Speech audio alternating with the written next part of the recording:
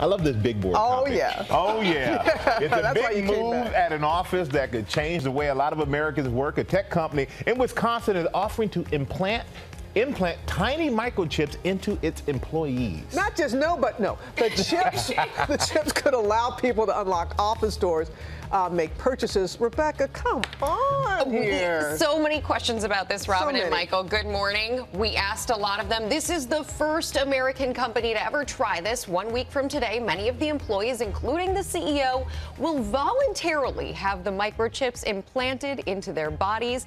And they're calling it, I'm not kidding here, a chips and salsa party. Oh! this morning, like a scene straight out of 007. So you can keep an eye on me? Employees at one Wisconsin tech company, Three Square Market, willingly making that fantasy a reality, implanting their own bodies with microchips.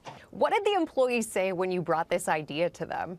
Half of them actually within five seconds says yes. CEO Todd Westby, along with 50 of his 80 colleagues, even his wife and kids, preparing to implant these chips, the size of a grain of rice, between their forefingers and thumbs, so they can do everything from buy snacks in the break room to log in in the morning to unlocking doors with just the swipe of a hand. What did it take to persuade the holdouts? Basically, we had to explain to them there's no uh, tracking of the information. It's not GPS or anything like that. The radio frequency technology in the devices, approved by the FDA, will be inserted with a small needle by a licensed technician.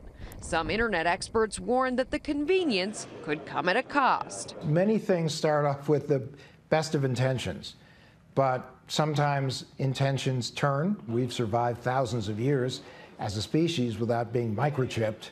Is there any particular need to do it now? Participation is optional, and some are holding out. There's always the fear of infection. So it's the unknown right now. But many are excited to give the new technology a try. I think it's kind of cool. Just pop it up there and it'll work. Just pop it up there. It's that simple. So, to give you a sense, here's a grain of rice.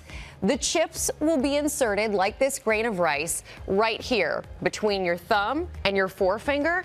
And most of the employees have opted in. It is voluntary. One size fits all, I guess. Now, what, what happens if you get the implant and then you're like, I don't want this anymore? So they told me, in case this happens, you pop it out. You literally push it out the way you would push a splinter out of your hand. Hmm. yes. Hmm. Hmm. hmm. Okay. Are you on board? no. No.